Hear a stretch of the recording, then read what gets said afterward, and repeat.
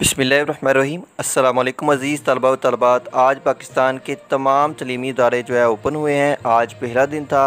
जो जो तलबा जो है, आज स्कूल, कॉलेज, यूनिवर्सिटी गए हैं, वो अपना फ़ीडबैक ज़रूर शेयर करें। इस वीडियो के कमेंट सेक्शन में जाकर आपने बताना है कि आज का दिन जो है, वो आपका कैसा गुजरा। नॉर्मली तमाम बच्चों ने जो है, फेस मास्क पहने हुए थे स्कूलों में, कॉलेजों, यूनिवर्सिटियों में जो है सफ़ाई सुथराई का बहुत ही अच्छा निज़ाम जो है, आज देखने को मिला है। तो टाइम टेबल जो है यूँ था कि साढ़े सात बजे जो है स्कूलों का टाइम टेबल था, एक बजे छुट्टी हुई और यही टाइम टेबल जो है अब चलता रहेगा।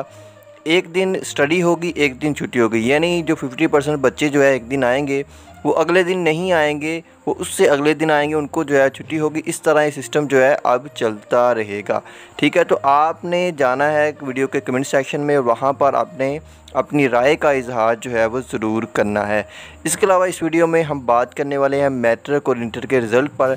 जैसा कि मैंने जो है कम्यूनिटी सेक्शन में एक पोस्ट जो है वो की थी जिसमें मैंने आपको बता दिया था कि 30 सितंबर को जो है वो मैट्रिक का रिज़ल्ट और इसके अलावा सेवन अक्टूबर को जो है इंटरमीडिएट का रिज़ल्ट जो है पॉसिबल है। ये एक्सपेक्टेड डेट थी जो कि न्यूज़पेपर में आई थी और ये कंफर्म नहीं है। और यहाँ पर मैं आपको लाहौर बोर्ड का ट्वीट जो है वो दिखा दूँ। तो यहाँ पर ये कह रहे हैं कि कोई भी डेट जो है अभी हमने कन्फर्म नहीं की। कन्फर्म करेंगे तो बोर्ड की ऑफिशियल वेबसाइट पर बताएँगे ऑफिशियल फेसबुक पेज पर बताएँगे और ऑफिशियल ट्विटर अकाउंट पर बताएँगे। तो आपको बताने का मकसद ये है कि वो डेट कन्फर्म नहीं है एक्सपेक्टेड डेट है।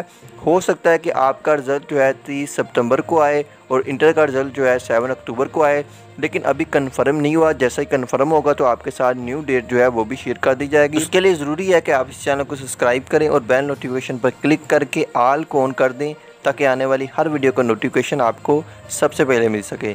थैंक यू सो मच अल्लाह हाफिज़।